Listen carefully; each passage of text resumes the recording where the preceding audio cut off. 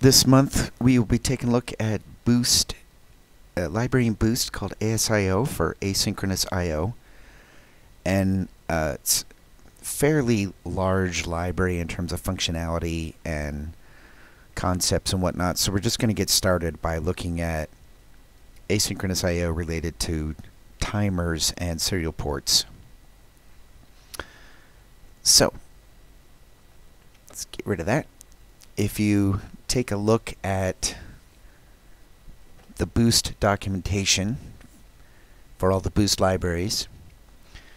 Uh, they have pretty good documentation on this library. This library has been around for quite some time. It is the basis for the networking, proposed networking support in the C++ standard. It did not make it into C++ 20 or C++ 23 which is a little disappointing. But this library's been around for a while. Uh, it's stable. It's gotten a lot of use. So it's not, um, although it hasn't been accepted into the standard, it has been in use for, as I say, a number of years, and there's a lot of experience using it. So the API itself is stable and well tested. Now, um,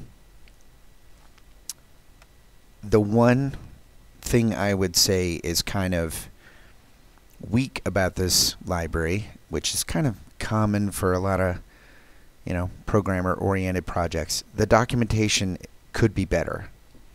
It's not bad, but the thing you need to know is that instead of starting with this overview that goes through a lot of abstract concepts and uh, instead of starting there, start with the tutorial.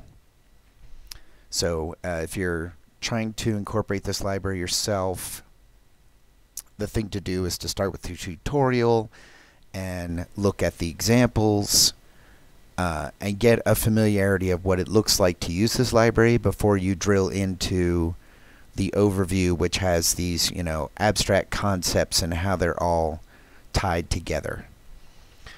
Uh, which is why I decided to break this up into two presentations. One that gives just an overview of the library and how to use it with timers and serial ports before we get into uh, things like TCP/IP networking and trying to write some kind of server or client to an internet-based service because it's just a lot to digest all in one go. So that brings us to um, how can you obtain this library and how do you use it? Well, what I am doing is I'm using vcpkg and I'm just pulling it down as a dependency of my project using a vcpkg manifest. The manifest is just a JSON file. I've done previous presentations on vcpkg, so if you're not familiar with the vcpkg Package Manager. You can go and look at those and get an idea of how to use vcpkg, uh, specifically in manifest mode. Um, now, Boost ASIO ends up depending on a lot of other Boost libraries. So if you use vcpkg to pull down Boost ASIO, it'll pull down all the transitive dependencies in Boost and uh, a couple of those need to be built, but most of them are header-only libraries because most libraries in Boost are header-only. In fact, ASIO is, can be used as a header-only library. So if you use vcpkg, it'll pull down all the transitive dependencies yourself, or itself for you. Now, that's one way to consume the ASIO library. There's another uh, variant of um, Boost ASIO, which is just called ASIO.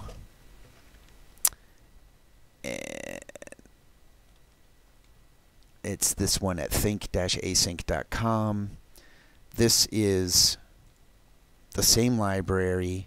It's just been changed so that everything, all the documentation is the same and everything.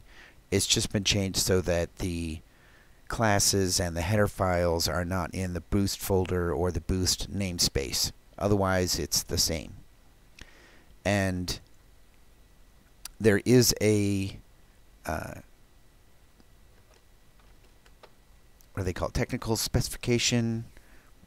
That is the version of the networking uh, of a Boost ASIO that is proposed for inclusion in the standard. It didn't make it into the standard, but there is the networking TS that may be supported in your compilation environment. So depending on your compiler and your standard library, the um, standard version of Boost, proposed standard version of Boost ASIO may be available. Now, along the way of proposing the library for standard standardization, there were some changes to the library, mostly what I, from what I've been able to tell. Uh, the changes are along the lines of instead of there being a member function to perform some operation, it's a free function that takes the class as an argument rather than a method call on that class. A few of the names of the classes got changed. Um, we'll take a look. Uh, all the code that I'm showing, I believe, is the, the latest recommended form and not the older form before the changes were applied through the standardization process. In the documentation, in the reference, uh, the older forms are there, but they're all marked deprecated, so it should be pretty obvious um, what you should be using. Uh, and, and they will tell you this form is deprecated, you should use the other form instead. And most of the time that involves around use the new name, use the free function instead of a member function. So, what is asynchronous I.O. in general? the idea is you're going to make a some kind of function call that's going to initiate an action. It's going to initiate some process rather. And usually this is initiating an I.O. operation like a read or a write. And that operation is started and control returns immediately to the caller. That operation will complete at some indeterminate time in the future and you will get some kind of notification that the operation has completed and then you can obtain the result either an error code or some kind of information about the completed operation like the number of bytes transferred either number of bytes read or written. If it's a number of bytes read then you can read the bytes that were supplied through some kind of input buffer. Now, um, that doesn't necessarily mean that we're doing things with multiple threads. Asynchronous I.O. does not require multiple threads, although the two are often used together. Things are simpler if you just used a single thread. So how, how is that possible that um, things can be happening asynchronously on a single thread? Well, and the answer is that the concurrency is happening in the operating system. So, for instance, when you um, do this manually by yourself on Windows, what it looks like is you've created file handles with a so-called overlapped I.O. flag, and then you initiate an I.O. operation on that file handle, either uh, supplying a buffer for information to be written into, in the case of a read operation, or supplying a buffer from which information is written in the case of a write operation. The lifetime of that buffer is extended. The, the buffer obviously has to stay alive for as long as this I.O. operation is in flight. And then Windows notice, notifies you uh, through its um, it's not really like uh, inter-process communication. You can kind of think of it that way. But the, the, the operating system notifies you uh, through a handle, and you um, wait on that. You can wait explicitly on that handle, or you can pull that handle to find out if the operation has completed. And then once it's completed, you can then do the next thing that you want to do, either process data that was read or get ready to give it more data to write. In Linux, which is really Unix, the idea of asynchronous I/O has been around quite some time. Came around with um, it might predate Berkeley sockets, but Berkeley sockets are, I, think, where it was most commonly popularized. And in Berkeley sockets, the idea is that your network connections are just file descriptors like uh, file descriptors in Unix are the integer numbers, not the file stars that you get from C uh, fopen. But the file descriptor integers that you get from a call like open, which is a POSIX call. Open is not a C library call. That's a POSIX call.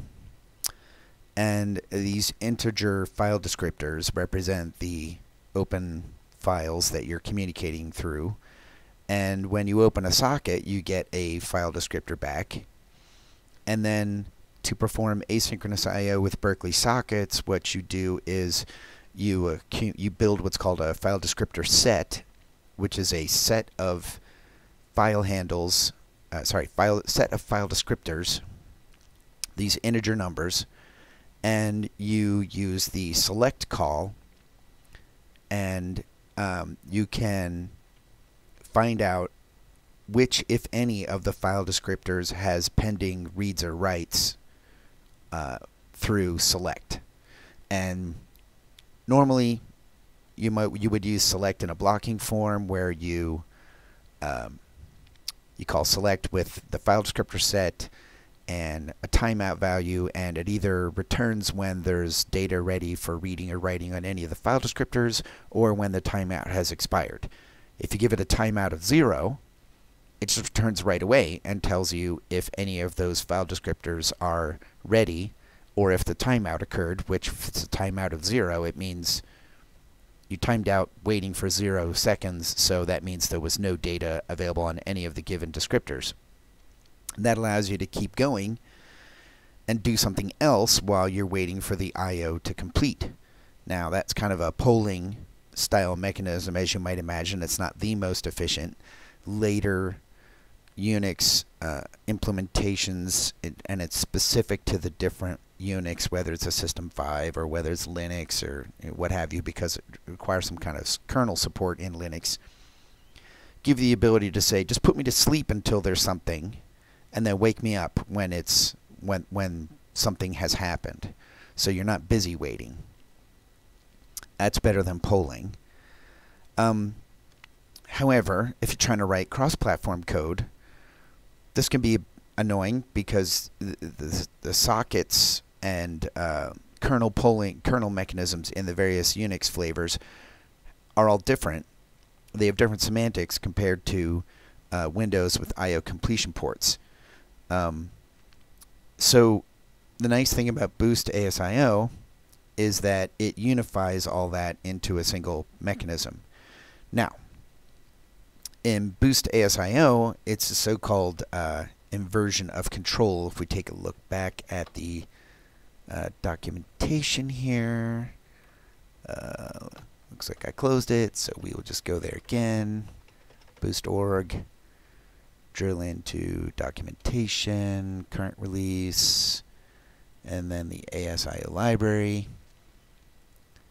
Okay, so if we look at here's uh, basic idea of uh, let's kind of go down here to this diagram. So your program initiates uh, it, well it contains uh, some kind of object that's doing asynchronous I/O. You make a call on that uh, object. It is attached to some kind of execution context, and um, in when you ask to do that operation, you supply it a completion handler. That's the thing that's going to get invoked when the I/O operation has completed, and this I/O context is the thing that interacts with the operating system API.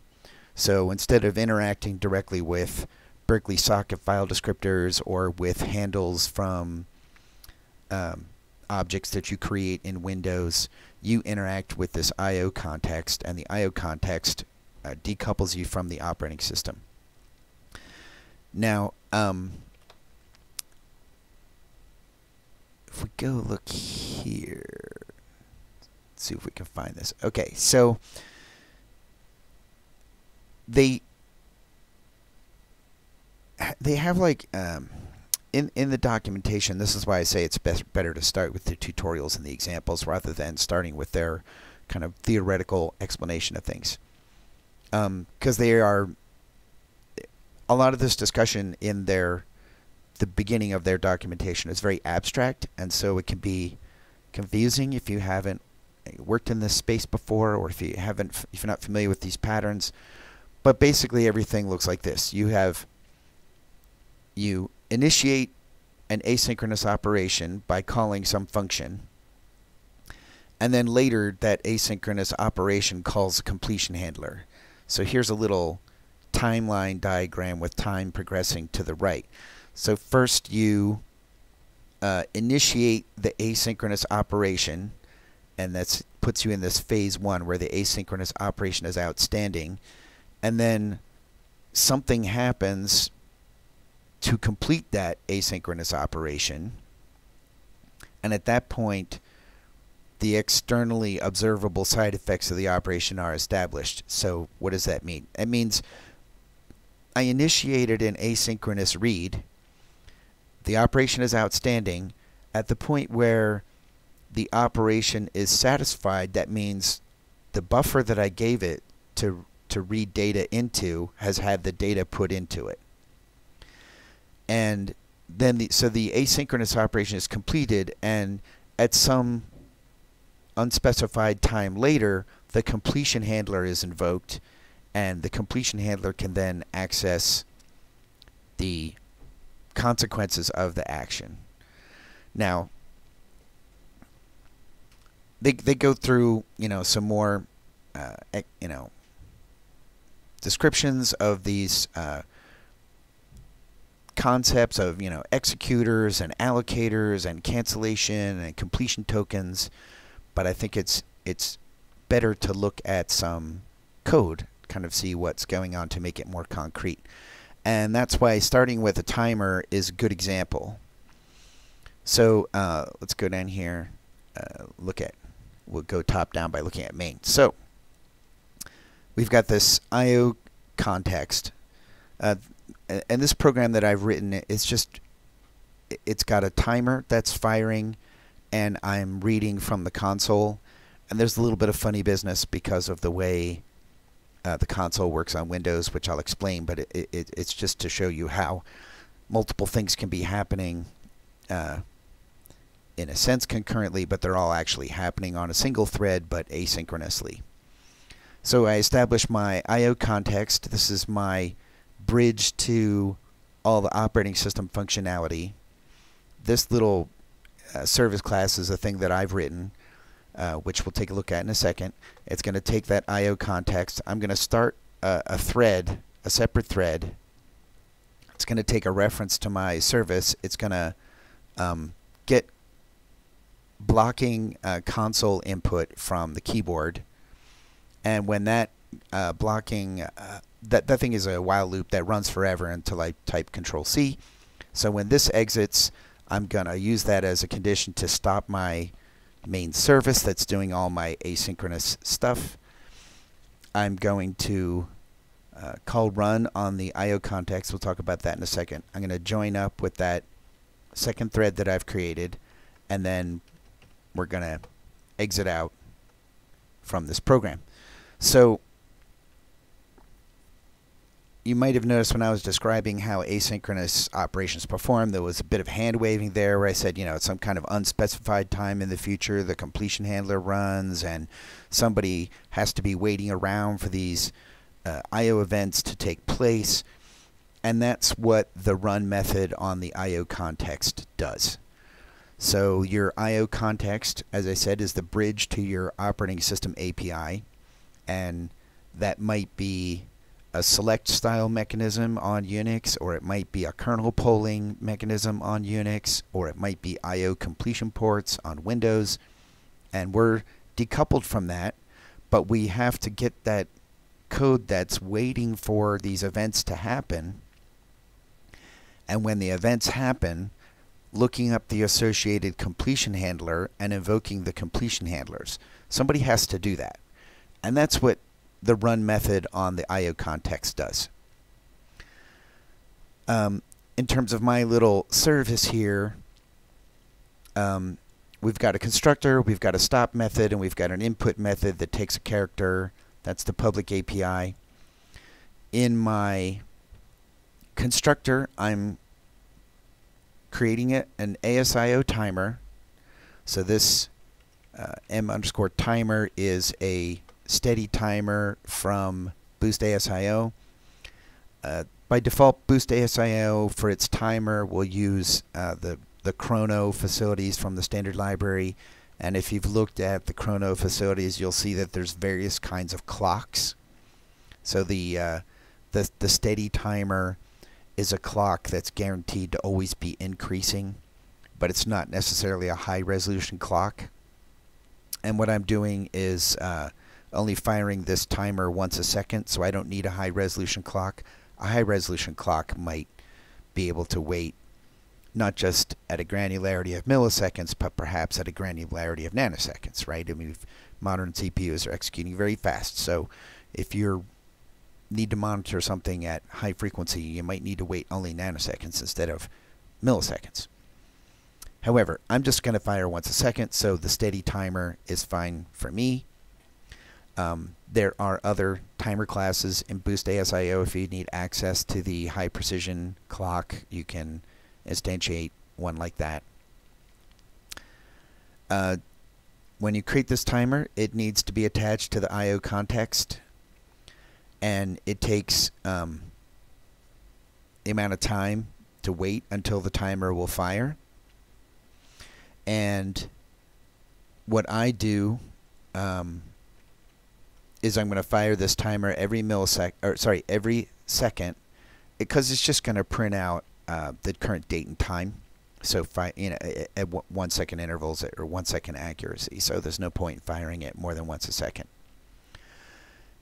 Um, so that is when you initially construct the timer, you can can construct it with a um, a delay time. It's basically time relative to now. So I'm saying this timer is going to fire one second from the time that I um, have created it, all the timers are single shot, so they fire once and then they don't fire again. Um, and it's commenting in the chat that they're having trouble hearing the audio. I'm just going to say it will be uploaded to YouTube later. Uh, downside of using free software like Jitsi is it's meh can't control what it does to the internet. Continuing. Uh, so um, when we construct this timer, we're going to construct it to fire one second after the time that we create it. And we're going to wait on that timer asynchronously. And this uh, argument to the timer is our completion handler. It's a lambda. And the lambda takes uh, an error code, the, the, the completion handler rather takes an error code that tells us whether you know there was some kind of error or whether the timer fired. I'm, I just assume that the timer always fires, and essentially what I'm going to do is uh, it's going to fire after one second, and then I'm going to queue another um, delay on the timer to have it fire again one second later. There's a question in the chat: is why does the timer need the I/O context?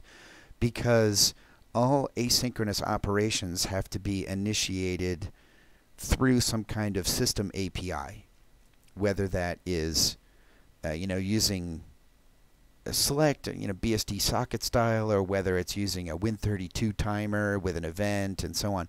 So the I/O context is associated with all of your asynchronous resources. There's uh, more details about why it has to be associated with a specific context. You might think like, oh, but these uh, system report, these system APIs, they're just kind of global functions. So why does it need an actual instance? But we'll we'll see more when we get into how an I/O context interacts with multi-threading. Why you want it attached to a specific I/O context. Um, it is possible for you to queue your own work as a completion handler onto a context, and that's what I'm doing here. I'm just saying put some work onto the IO context.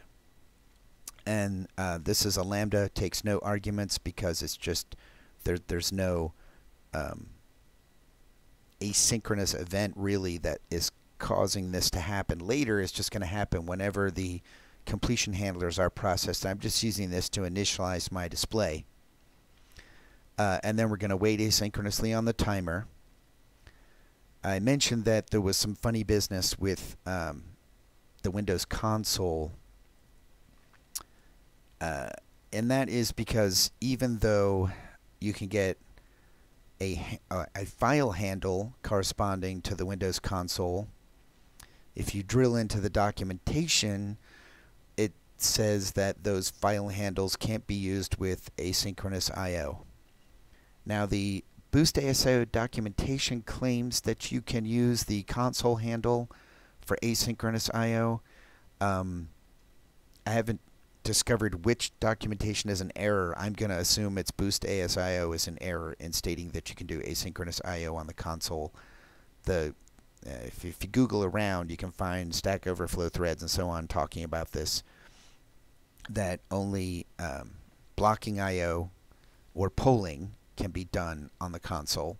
So that's why I launch my console input guy on a separate thread.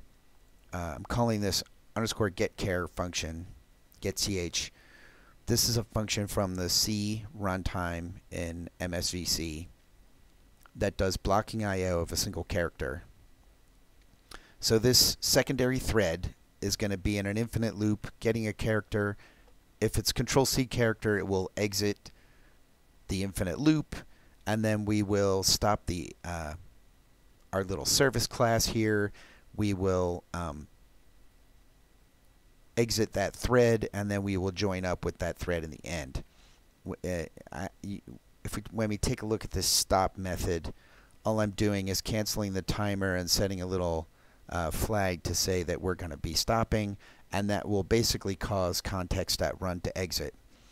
So context, the, the, the run method on the IO context will can, will not return until there are no more asynchronous operations and their associated completion handler, handlers outstanding. So if I cancel the timer, that will remove its completion handler from that whatever internal queue the IO context uses to track asynchronous work. And since the timer is the only thing I have running asynchronous here, uh, context.run should return once I've canceled the asynchronous input that was pending, or the, I guess the asynchronous work that was pending. So this is just my little way of this little get console input and the secondary thread. That's just my way of trying to get asynchronous input from the console on Windows. On a POSIX system like Unix, Linux, you can um, just you do regular asynchronous I/O on file descriptor zero that represents standard in. Um, so it's kind of a little annoying that they're, they're you know I kind of have to do something funky to get asynchronous console input on Windows, but you know such is life. Uh, now, um, what I have done here, maybe you didn't realize this if you're not uh, you know, programming console I/O in detail on Windows, but but um, in recent versions of Windows, I think Windows, I think it's been there since Windows 8. Maybe it's Windows 10, but the Windows console now supports all the standard ANSI escape sequences and I'm just trying to have a little bit of a fancier output here. So I've just hard coded some of the escape sequences for various operations. These are ANSI escape sequences recognized by you know every terminal emulator out there. Uh, to clear the display clear to end of line uh, select reverse video select normal video switch to the graphic character set switch to the normal character set. Um, this is the the character in the graphics character set that has a little diamond glyph instead of, you know, a normal character. And then this is the escape sequence to go to a particular row and column. So when I get input from the keyboard, I am just uh, echoing that back out. and after I've accumulated a certain number of characters, I will wrap around to character zero. If it's a printable character, I'll just put that character straight out as is. Otherwise, if it's a control character, I'll switch to reverse video and output that character in reverse video. And if it's some other kind of character that I don't recognize, I'll output this uh, this little diamond character. So that's all I'm doing with the keyboard input. When the asynchronous timer has fired, it will call the completion handler for the timer. Now we set that completion handler up when we called async wait after we constructed the timer. So this is the priming of the pump. We get it. Uh, we set up the initial completion handler to fire on that first one second delay on the timer that we set when we created the timer. It gets called with an error code. We're just going to call this timer expired method on the service. Uh, it's a method on the service. That's why I'm capturing this in the lambda. And when we look at timer expired, we just see if it's uh, if we got an error or the stop flag was set that we're just going to return right away. Otherwise, we'll get string form of the time and output that at uh, row call 1 comma 40. So that's row 1, top of the screen, column 40, not really centered, but just kind of in, you know, uh, you know, starting in the middle if it's an 80 column screen, as you you know might typically have, but most people have wider screens these days because they're just running in a window. But we're gonna, you know, start at column 40 and output that uh, ASCII version of the time. Then we're gonna reset the timer to expire after one second from the current time.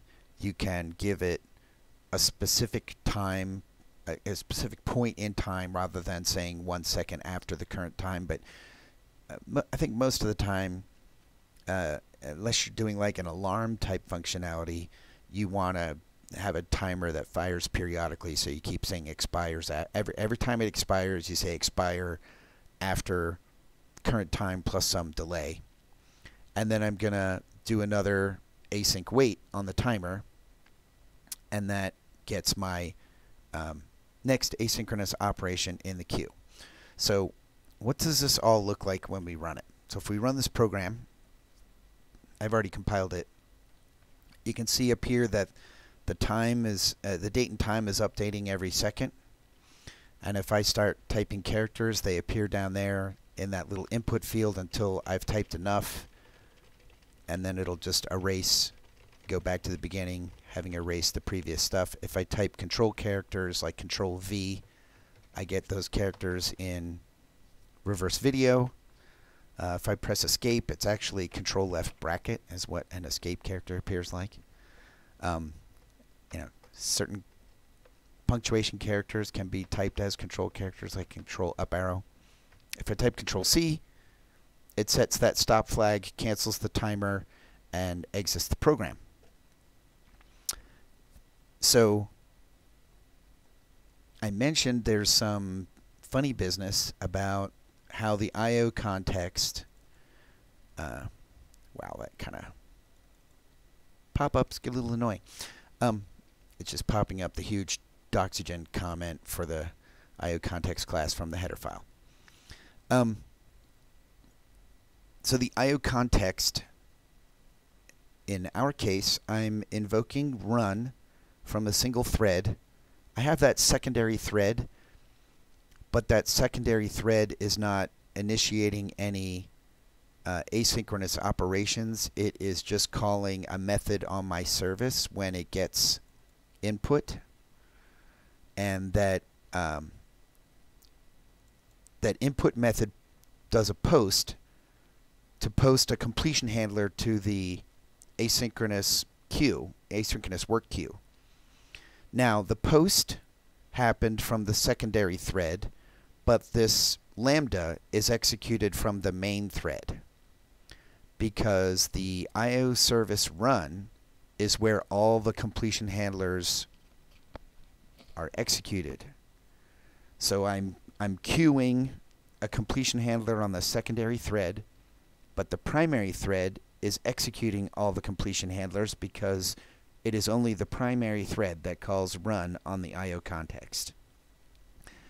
Now, uh, the multi-threading guarantees of Boost AO, ASIO are such that it is always thread safe to make concurrent method calls or function calls on distinct objects. And most of the time, it is not safe to make concurrent calls on the same object. The one um, supported use case for making method calls on the same object from multiple threads is the run method on the I.O. context. Um, you can have a single I.O. context and have multiple threads calling run. And when that is the case, then what happens is that in, in some unspecified manner, the I.O. context will parcel out any pending completion handlers to the threads that have called run. You can have an I.O. context per thread and have each thread calling run on its own I.O. context, in which case the um, asynchronous work that each thread is completing will be the work that was queued on those particular I.O. contexts. So that's why each uh, asynchronous resource is associated with a specific I.O. context. Uh, by dividing things up that way, it lets you decide uh, how multi-thread, how multiple threads interact with the completion handlers associated with different I/O contexts. Now, um, as you might imagine, it can get a little tricky with these completion handlers. That, uh, in my case, I'm just using lambdas. You will see in the in the documentation that they will often use boost bind to bind particular arguments to a function like a method call, you know, to bind the this pointer to a method call on an object, they'll use boost bind. Um, or they might use um, the uh, placeholder objects underscore 1, underscore 2, and so on that are provided by boost ASIO. Or they might use the placeholder objects from the standard library. Again, they're underscore 1, underscore 2, and so on this is why I wanted to talk about the Boost Lambda 2 library. Um, you might find it handy to use that Lambda 2 library to, to write those lambdas and as a uh, short expression. In my case, I'm just using C++11 uh, lambdas, you know, that are in the library in, in, the language rather than a, some kind of library. I find the using the lambda from the language is more concise and clearer than making a call to std bind. Uh, and in fact, the the general recommendation now is to use uh, language lambdas rather than using a call to um, std bind or boost bind. But I just wanted you to be aware of that when you look at the documentation for ASIO, you might see references, you might see places where the completion handlers are written using boost bind or using uh, std bind from the standard library. But essentially, uh, you you just it, it it's a function object, right? It could be a free function that you call, and you're keeping track of things in global variables. Yuck! Don't do that. uh, I prefer to use uh, language lambdas with a capture. However, as you might imagine, when you get things with multiple threads running concurrently, interacting with either a single I.O. context or multiple I.O. context objects, you might need to perform some kind of uh, synchronization to ensure that um, completion handlers are happening sequentially rather than concurrently. Um, they could happen concurrently if you have multiple threads using the same I.O. context and multiple threads are calling run on that same I.O. context. In that case, it's conceivable that two completion handlers on the same I.O. context could be running concurrently, two or more. There is a lightweight synchronization mechanism provided by Boost ASIO called a strand. And a strand, uh, a completion handler can be bound to a strand, and that strand is associated with a particular I/O context, and it guarantees that no two completion handlers associated with an I/O context through a strand will be executed concurrently. So it's a way to serialize the uh, completion handlers even when they're called from multiple threads, even when multiple threads are calling context run. Um, personally, like it's it, this asynchronous stuff is hard enough to keep straight in your head. Um, the reason being, you notice that uh, here's where the asynchronous operation is started, and then later in some other code that's potentially farther away. I mean, here it's kind of all in one class, and it's not a big class, so it's not too hard to grapple with. But it could the the initiating the asynchronous operation and the handling of the completion of the AS asynchronous operation. They could be different classes and different files and different libraries, you know, very far apart from each other uh, code-wise.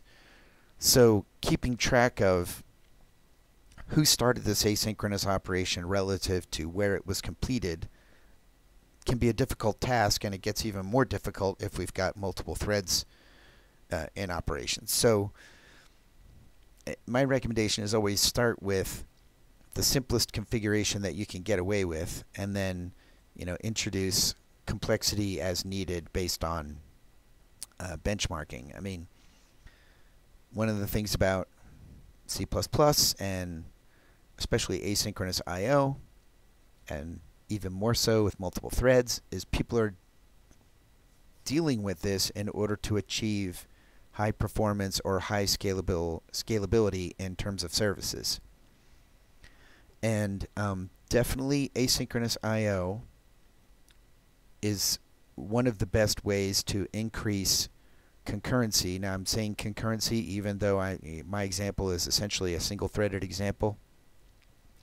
But the important thing is that these I/O operations, especially when we're talking over the network, or even just reading a large file from disk, they can be very expensive relative to the speed of the CPU. And in fact, one of the long-standing pieces of advice from Microsoft to AAA game developers is to use asynchronous I/O to load all their game assets into the GPU. And the reason that they have been giving that advice is because we're talking many megabytes of data that's read off of disk, usually put through some kind of CPU transformation because the the um, data on disk is usually in some compressed form.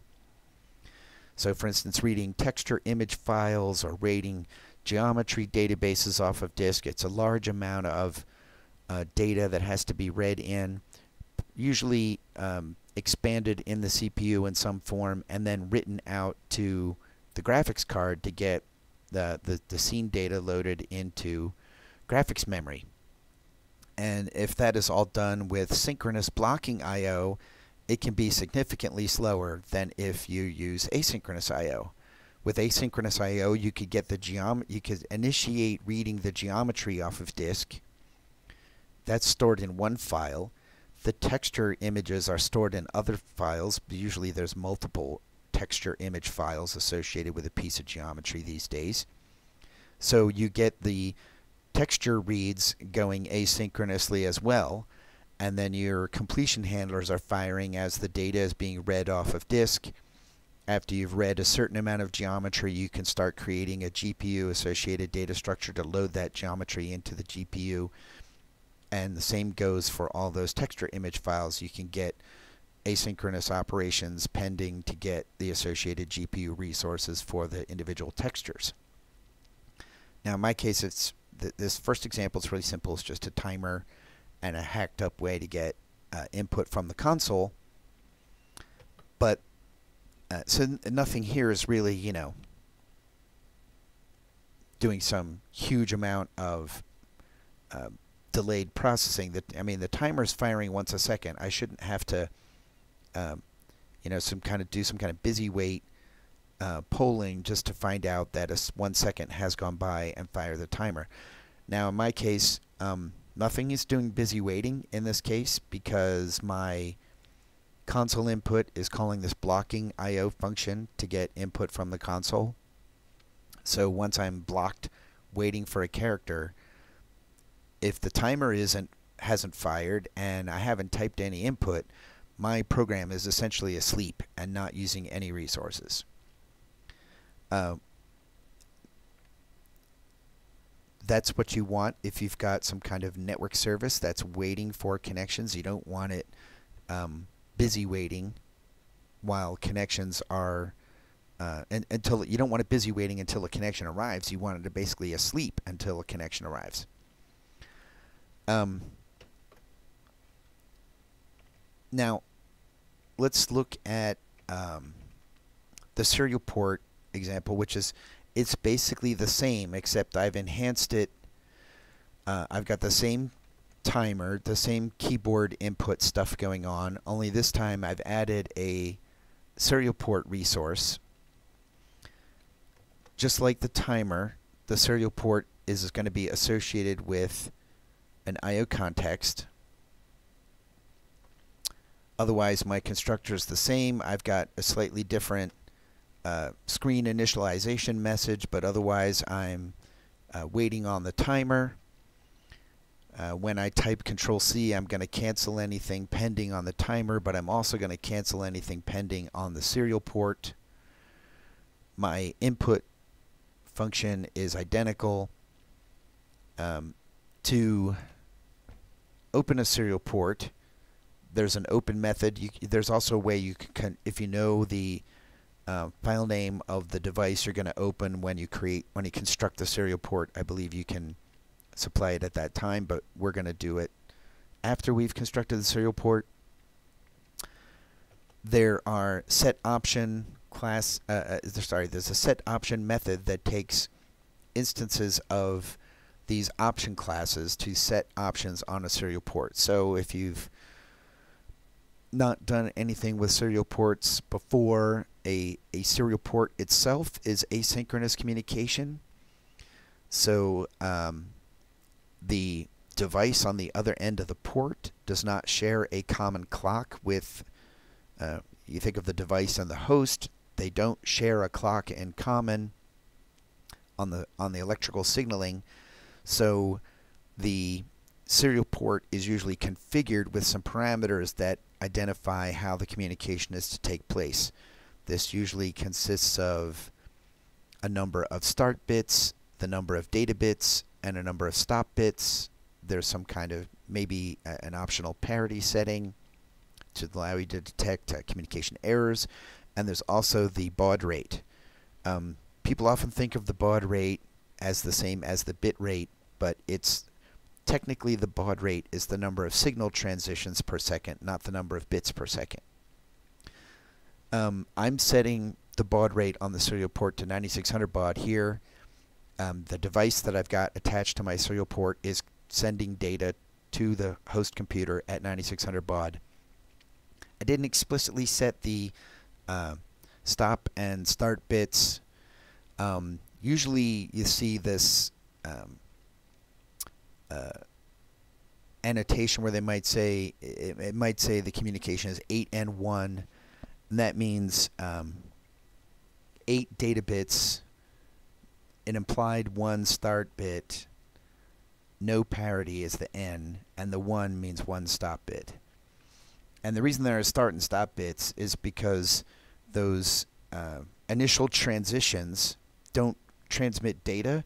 What they do is transmit a signal change so that the communication circuitry can then synchronize um, the bit transitions when it knows the the baud rate and it knows the start bits or how it knows like oh the, uh, there's some data coming and then it looks for a certain number of data bit transitions and then it expects one or, or however many stop bit transitions afterwards so um, excuse me. So uh, 8N1 is common. It's kind of the default for everything. You just need to set the baud rate typically. So that's that's why I'm just setting the baud rate.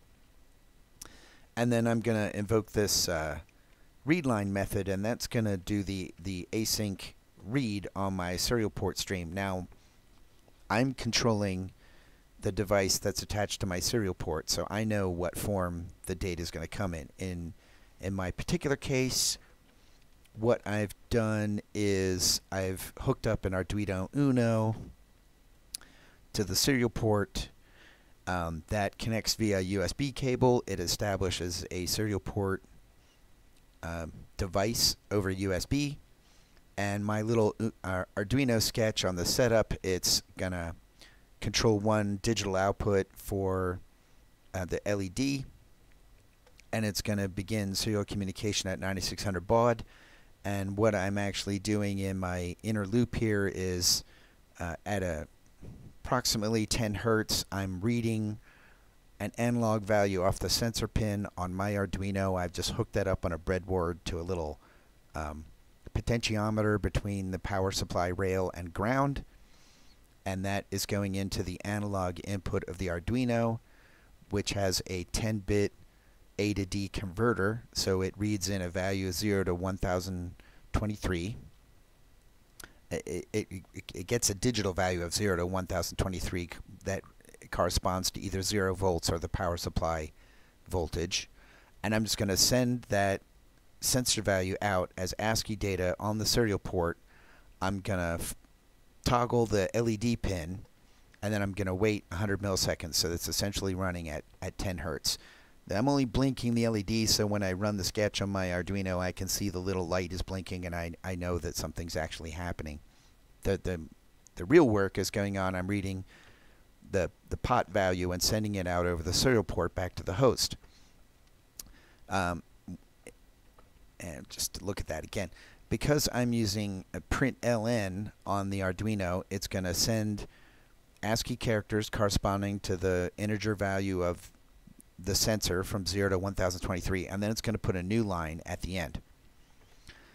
So in ASIO, when we know that the data we're reading is delimited by some kind of fixed string, we can use async read until.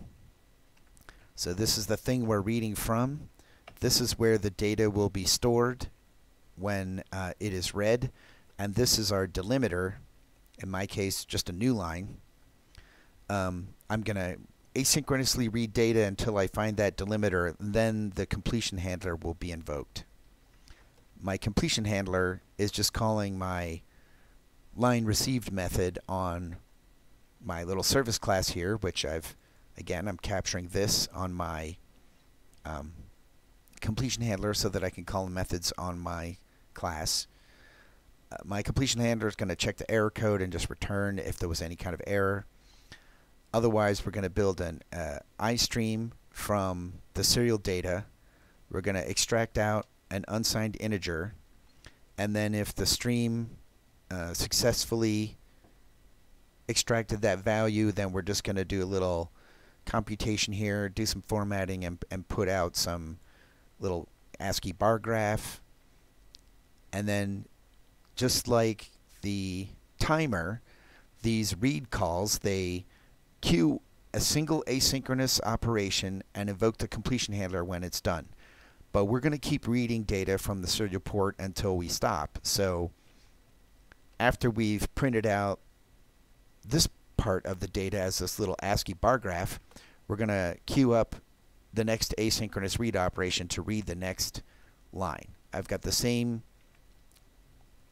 Got the same business going on with the timer and the console input. And so the only thing that's really different is down here, I'm just doing a little sanity checking to make sure that I supplied the name of a serial device as the first argument to the program. We're going to establish our I.O. context, create our little service class associated with that context. We're going to open the serial port from the command line argument that we were given. This is my little hack again to do console I.O. Uh, from a separate thread. Otherwise, everything's the same as before. If we run this guy, set as startup project, run this program,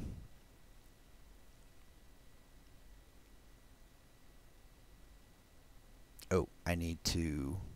Ha, okay. So on Windows, when you attach a device on the USB port, it doesn't always get the same COM port number. So my Arduino Uno is connected on COM4. You can find that in the device manager. So if I go over here to my properties, make sure it's COM4, okay. So that's all right. So what happened? Oh, it's running. Okay. It just put my program, put my running window behind the IDEs, and I did notice it. So if I'm, uh, I'm, you can't see it, but I'm moving this little potentiometer here. You can see the little value is changing that's being reported across the serial port from my Arduino. I can type more keyboard input, and I can do those things concurrently. And my timer is still firing, updating the time and date at the top. Uh, if I type control characters, it's just like before. So, the difference here is I still have a single thread, the main thread. Only one thread is calling context run. I've got two sources of asynchronous input, the serial port and the timer, that are queuing um, completion handlers onto the internal queue in the I.O. context. And I've got on a separate thread my little blocking console input posting completion handlers when the blocking I.O. is satisfied. So this guy, he does, he calls service input, service input is doing a post on the I/O completion. Or sorry, on the I/O context. So it's just saying um, just add that lambda as work to the completion queue. So this is this post is being called from one thread, but the lambda is being executed on the main thread. It's being executed on the thread that called IO context run. So I've got work being queued as uh, post onto the I.O. context. I've got the completion handler for the serial port going on to the I.O. context, adding its um, work on there as input data is read off the serial port and uh, until that delimiter is found and then the completion handler is invoked I've got the timer firing and putting its completion handler on when the timer fires. And every, every time the timer fires it, it queues up another timer event. Um, the interesting thing here with the serial port is that I did this business here to extract out the value from this serial data.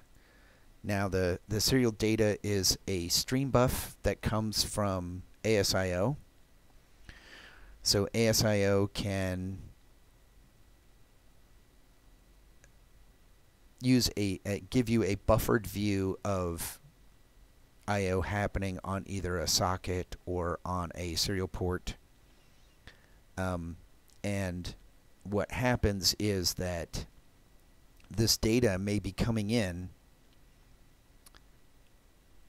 uh, in, in, such a way that it's it, it doesn't necessarily come in in line-sized chunks. It, it comes in in an arbitrary amount of data that comes in off USB.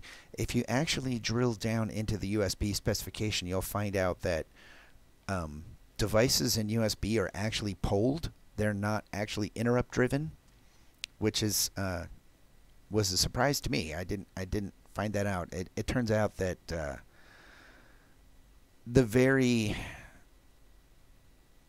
professional like electronic you know video game players they actually prefer a PS2 style keyboard and mouse I, I have a hard time believing this but they say they can perceive the polling delay in USB through the USB stack that if you have a keyboard and mouse attached via a PS2 port on the back of your machine those ports are actually interrupt driven and not polling driven.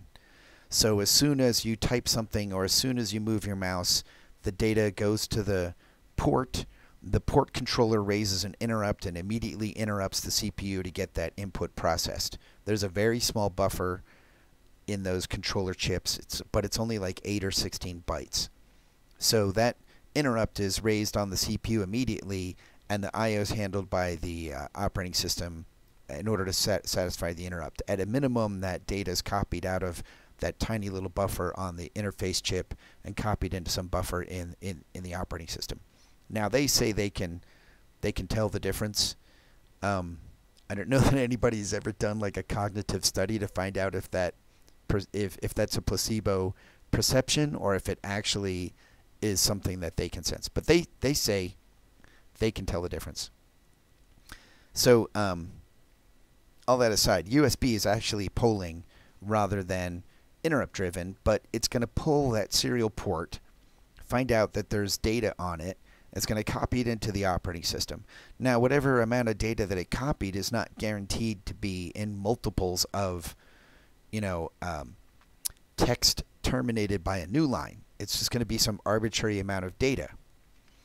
So when we ask ASIO to read data for us from the serial port, which we do down here with this async read until,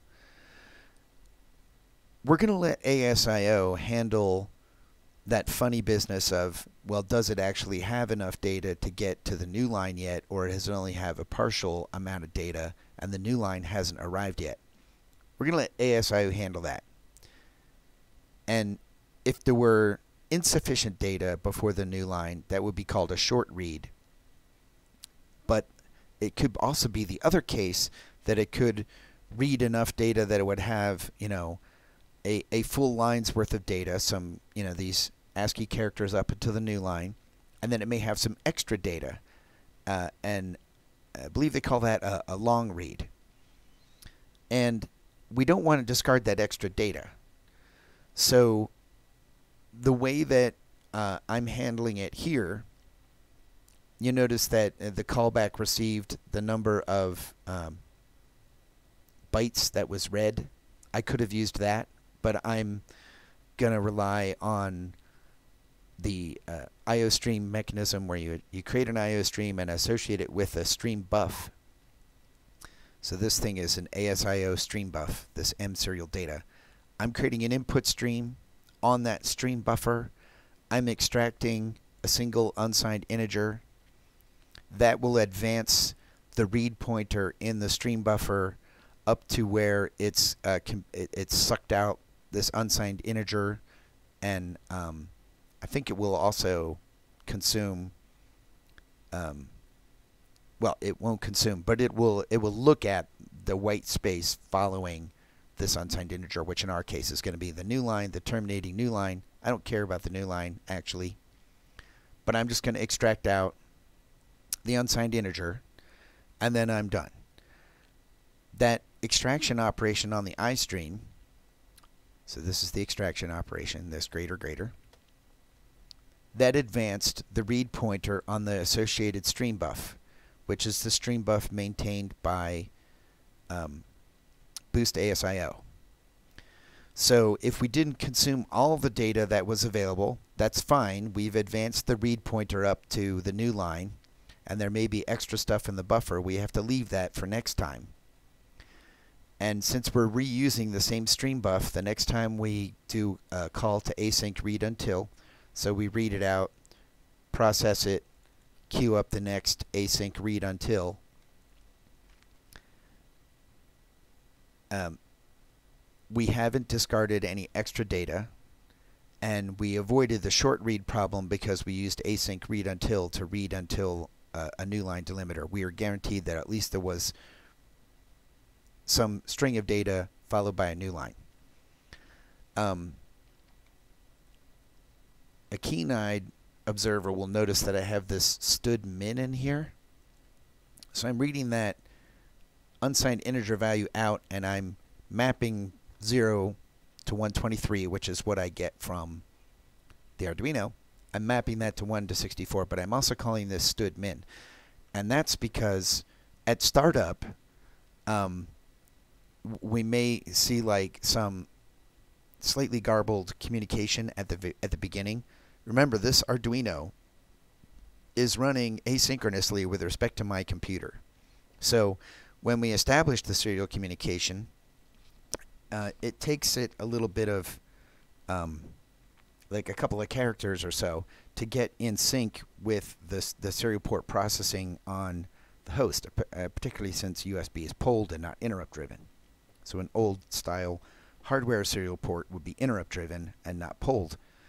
And what I noticed was that only when I start, sometimes this value would be really large. I mean, it's supposed to not be any bigger than 1023, but the sometimes the uh, new line character would get lost when I establish communication with the serial port, and so it would be some very large number. So uh, that's why I've got that stood min there. There are other ways to solve that problem, like you could have the host send a command to the Arduino to tell it start transmitting data, and then send it a, a, a command later to tell it to stop transmitting data when we shut down the application. I mean, we're not running the program right now, but my Arduino is busy sending data to the serial port that nobody's paying attention to. Um, so it's sending data all the time. It's just being discarded by the host because nobody's got the serial port open for reading. Um, you might not want that. You might want, in order to avoid this kind of startup problem, this kind of little glitchy value at the beginning of the communication, you might rather have it be um, don't send me any data until I ask for it, and then send it, send me data on a periodic basis, and then what, and keep doing that until I tell you to stop sending data. Um, it, it, could certainly code that. I mean, it's just be a change in the Arduino sketch. I, I just happen to have it this way, but it's just something to think about if you're using serial ports to talk to devices that are constantly streaming data. That when you initiate the communication, there might be some glitchy data at the front, and you might want to. Um, I mean, what I could have done is I could have discarded all the data from the very first character up to the first new line in my case, I just I just decided to make sure that it, you know was kind of hacked into the valid range. Probably, you know, it would probably be a um, for uh, uh, some kind of sensor like this that's constantly streaming data, you know, with a delimiter. Probably best to scan the data when you, after the initial connection up until the first delimiter and discard that data because it's, you know, it's partial. We don't we can't guarantee that it represents a whole data set if they're uh, delimited delimited by new lines or something like that. Um, but other than that, you know, everything just continues to work as expected. I could have used this size to know um, how many bytes to extract from the streambuf in order to get my integer value. But since I have to do some kind of string to integer conversion anyway, I just thought I'd let istream handle that and I'll just ignore the size value. Um, but that's what that size parameter is from the uh, completion handler. Now, different operations have different arguments that they pass to the completion handler. In the case of the timer, the only thing it communicates is the error code, uh, which we saw with this, you know, the timer expired here. It just takes the error code because there's no other information to transmit except that the timer fired. When you're doing um, other read and write operations, uh, usually there's some kind of data buffer or count that's communicated to indicate how many bytes were written or read. Um, it's possible for you to change the signature of these completion handlers by binding extra arguments on there. There's a mechanism in ASIO for doing that. I find that's not really necessary anymore with C++ 11 lambdas. I can just write the lambda expression uh, and I can uh, I mean usually the reason you want to bind additional arguments to the completion handler's signature is because you've got additional arguments you want to communicate um, from the time you queued the asynchronous work. I just find it easier to use a lambda capture in order to do that. Um, now these completion handlers, they can be, they don't have to be lambdas. They can be, you know, plain function pointers like, uh, you know, a C style function. They can be stood function instances. There's also, if we go back here to the documentation, so in addition to using uh, lambdas and stood functions and function pointers like we've been doing, the the general idea is called a completion token. And uh, this diagram is just kind of showing in a diagram form what we've been talking about. You have an initiated function, uh, an asynchronous operation is started by some initiating function. The initiating function, in in our case, the initiating function is a thing like async wait or post. Where's my post? Here's a post. Okay, so this is the initiating function. And that is associated with a specific completion signature. And when the asynchronous operation completes, it calls the completion handler. Now, it's possible to um, not just use a function, but you can use coroutines. You can use the promise framework from the standard library, so stood promise. Uh, and there's there's a, a, couple of different flavors of coroutines that you can use. Um, you know, it, they go through it in detail here in the, in the documentation, but I found that uh, it's just kind of hard to follow some of this stuff because of the amount of syntactical splat to the face, if you will. Um, so it takes some careful study to kind of follow how this stuff is working. Um, as we go through the next couple of presentations will be after we look at how to do uh, raw TCP networking and then how to do uh, HTTP type requests with Boost. We'll look at a follow-on library that um, gives a, a, a promises style layer on top of Boost ASIO networking that looks more like JavaScript promises, which is a very fluent API. And uh, we'll find out that like a lot of these kind of lower level details are just kind of boil away and give us a very clean looking API um, that lets us all in one place express do this sequence of asynchronous operations one the output of one feeding the input of the next so that we can chain them together to create reasonable looking code that expresses a, a, a collection of asynchronous operations. The code that we have here, it's not so bad because the number of asynchronous things happening is not too complicated and there's not too many of them. But as you might imagine, the, the more interesting stuff with asynchronous I.O. and talking to a server is not just one asynchronous call in isolation like I'm pretty much doing here. The serial port, I'm treating it as input only. I'm not doing a conversation. But you might imagine if it's a command response style device over this serial port, well, I have to send the command, and then I have to wait for the response. Then I have to send the next command, and then I have to wait for the response. I have to send the next command, wait for the response. I have to take the output of each of the responses and use them to construct the next command. And so that's kind of a more conversational API. And when we get into that kind of a scenario, chaining up these lambdas and having them feed the the response data to the next lambda, it starts getting more involved and starts getting more complicated. And you can easily get into what the JavaScript programmers call callback hell, where they're trying to orchestrate this sequence of asynchronous operations to perform a conversation, not just a single query. And that can get um, very difficult to keep straight. And so we'll want to look at a higher level API that allows us to express that more fluently, and that's where we're headed. But to get there, first we have to understand all this underlying stuff in how Boost ASIO works from basic level, how we can do networking, and then we'll look at uh, how we can do HTTP requests and make a REST API. And then having done all of that kind of the hard way, we'll look at how to do it with a promises style API that will, I think, be cleaner. But we got to cover this groundwork first in order to get there.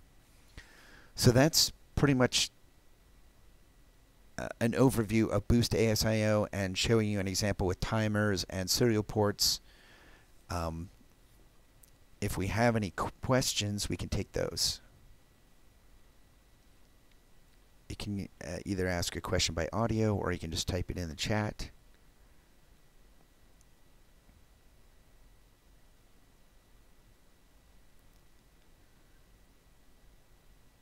Otherwise, if there's no questions, we'll just wrap it up there.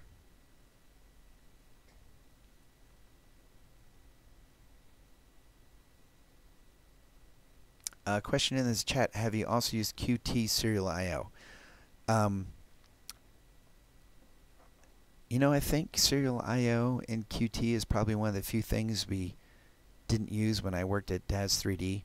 Um, DAZ Studio is a very large Qt application. It uses almost everything in Qt, but I didn't use Serial I/O. I, I have never used uh, Serial I/O through Qt. Um, you know, Serial I/O is not something that is very different on Linux versus Windows, um, unless you're trying to do asynchronous I/O with a serial port. Um, because really it's you know you open up the the serial device whether it's you know dev pty 24 or com4 and you just do you know reads and writes on that file after you've opened it um, there's going to be operating specific operating system specific ways of setting the baud rate and other serial port communication parameters but aside from that it's all pretty much the same unless you're doing asynchronous IO then you have as we mentioned the difference between IO completion ports on Windows and doing some kind of select or uh, kernel polling mechanism on Linux. Uh, I don't know if Qt supports asynchronous I/O for anything. It probably does because asynchronous I/O has been around for a long time. So they might have some asynchronous I/O framework in Qt, but I haven't looked at it. Any other questions?